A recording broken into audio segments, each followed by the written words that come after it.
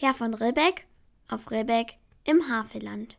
Ein Birnbaum in seinem Garten stand, und kam die goldene Herbsteszeit, und die Birnen leuchteten weit und breit.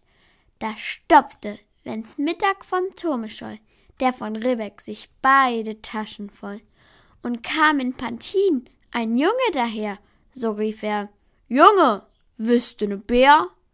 Und kam ein Mädel, so rief er, Le Dürn, komm an rüber, ich gift dir ne Bön. So ging es viele Jahre, bis Lobesam, der von Ribbeck auf Ribbeck zu sterben kam. Er fühlte sein Ende, es war Herbsteszeit, wieder lachten die Birnen weit und breit.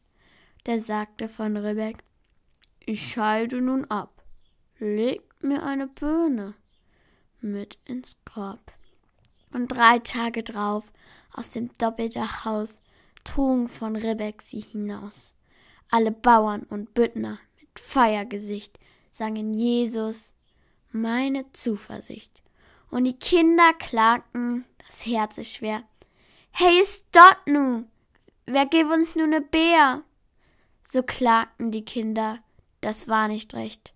Ah, sie kannten den alten Ribbeck schlecht.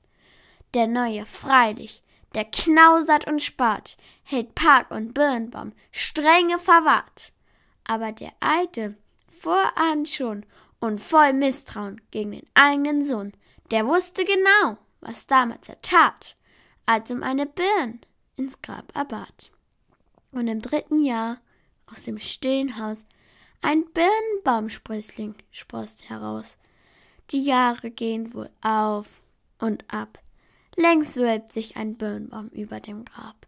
Und in der goldenen Herbsteszeit leuchtet's wieder weit und breit.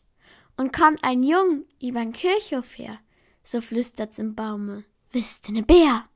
Und kommt ein Mädel, so flüstert's, Litten, komm an River, ich gift dir ne Birn so spendet Segen noch immer die Hand des von Ribbeck auf Ribbeck im Havelland.